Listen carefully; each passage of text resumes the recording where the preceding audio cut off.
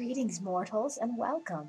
I am Auradormi, chronicler of the Bronze Dragonflight, and today we're going to be exploring the rich, expansive story of Azeroth. Why? It's simple, really. To understand Azeroth and your place in it, you have to go back to the beginning. So, we're going to go back, way back, back to the beginning of things, back to beyond history during the age of the World Shapers. 147,000 years ago, the beings we know as the Titans emerged as World Shapers, bringing order out of chaos. Their leader was Aman'Thul, the High Father, and he had several siblings. Eonar the Lifebinder, Norgannon the Dreamweaver, Khaz'goroth the Shaper, Golganneth the Thunderer, Aggramar, the Avenger, and Sargeras, champion of the Titans. The Titans, or Pantheon as they came to be called, crossed the universe and molded every planet they came across. Wherever they passed, they left behind guardians, constructs with a single purpose to maintain the order of the world they were assigned and it was during this time that the Titans first encountered the beings of the Burning Legion. Sargeras, champion of the Titans, created the legions to help him fight the demon horde, but was, over the centuries, corrupted by them, and eventually turned against the Pantheon, resulting in his banishment to the Twisting Nether. It was also during this time that the Titans, minus Sargeras, discovered Azeroth.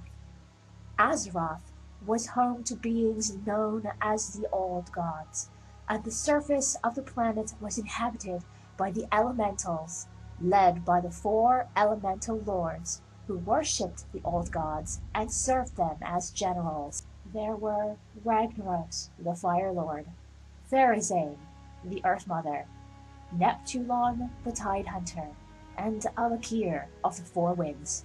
The Titans came to Azeroth and saw the chaos and in their quest to restore order to the universe, smashed the ancient citadels of the old gods and banished the elemental lords to the abyssal plane.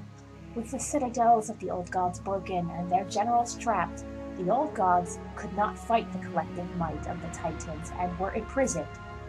They were imprisoned within the heart of the world, and with the old gods safely contained for now, the Titans could bring order to Azeroth However, the Titans could not do this alone, and so they created the Earthen, small creatures of stone, and the Sea Giants, gentle creatures of the waves, to help the Titans carve out a single, perfect continent that the Titans named Kalimdor. And in the middle of this perfect continent, the Titans placed a scintillating, swirling pool that would be the font of all life on Azeroth. This pool came to be known as the Well of Eternity. This world-shaping process took the Titans and their servants 82,000 years. And when they were finally complete, the Titans created the Dragonflights. The Titans, impressed by five particular protodrakes, native creatures of Azeroth who defeated Galakrond, who threatened to wipe out their race. Each of these five was granted unimaginable power by one of the Titans. To Nozdormu, Aman'Thul gave the gift of time. He was charged with guarding over time itself and policing the ever-spinning pathways of fate and destiny, and thus was born the Bronze Dragonflight.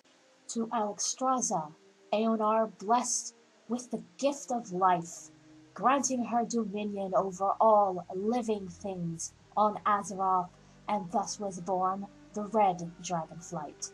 To Ysera, also blessed by Eonar, was given the gift of the wilds and nature, and tasked with guardianship of the wild places of the earth, from her realm of the Emerald Dream, and thus was created the Green Dragonflight. Norgannon gifted wise Malygos with supreme magical might, making him the guardian of magic and of hidden arcanum, and thus was born the blue dragonflight, and to great Neltharion, Khaz'goroth, the great Shaper, gave him dominion over the earth and the deep places, and thus was born the black dragonflight. Their work done, the Titans left Azeroth then, its guardians and protectors in place for all eternity. For 40,000 years there was peace on Azeroth, but not all worlds shaped by titanic hands were so fortunate. But that is a story for another time.